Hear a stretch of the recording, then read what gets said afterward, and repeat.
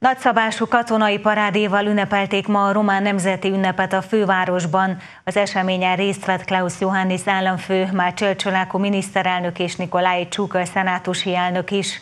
A szélsőségesen nacionalista áur szimpatizánsai Gyulafehérváron vonultak fel.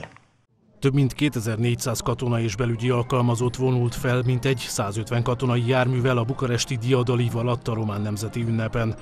A román hadsereg alakulataihoz mintegy 250 külföldi katona, az országban állomásozó NATO csapatok képviselői is csatlakoztak. A fővárosi diadali fölött repülők és helikopterek tiszteletköröket tettek, a több tízezer résztvevő pedig harci eszközöket bemutató kiállítást tekinthetett meg. A felvonulás után Klaus Ioannis a Kotrocsény palotában szervezett fogadáson tartotta meg ünnepi beszédét. Kiemelte, Románia a többi uniós tagállammal együtt az európai értékek mellé sorakozott fel, az ország NATO tagsága pedig biztonságot garantál Románia számára. Itthon elkezdtük a közigazgatás reformját, a digitalizálás útjára léptünk fel, korszerűsítjük a hadsereget, de még sokat tennivalónk, fogalmazott, majd a 2024-es szuperválasztási évre hangolódott rá. 2024 meghatározó év lesz Románia jövőjét illetően, hiszen az európai parlamenti választásokon megválasztjuk azokat, akik remélhetőleg hallatni fogják hangunkat az Unióban. A helyhatósági választásokon dől el, hogy milyen irányt vesznek közösségeink, a parlamenti választásokon dől el, hogyan fog kinézni a kormány, és államelnök választás is lesz.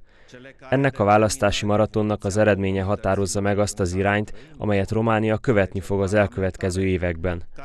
Megmutathatjuk, hogy felnőttünk ahhoz, hogy részt vegyünk minden egyes választáson egy olyan évben, amikor az 1989-es forradalom 35. évfordulóját ünnepeljük. A Nemzeti Ünnepen Románia valamennyi nagyvárosában szerveztek ünnepséget. Gyulafehérváron a szélsőségesen nacionalista AUR több mint 6000 tagja és szimpatizánsa vett részt az úgynevezett egyesülés menetén. Az AUR külön vonatot bérelte célból, de többen buszokkal érkeztek. A felvonulók trikolorokkal a kezükben egyesüléspárti rigmusokat skandáltak. Besszarábia Románia, büszkék vagyunk románságunkra, moldvaiak, erdélyiek, munténiaiak, mind románok vagyunk, skandálták. Moldova, Ardálu, Csicala, Romunia!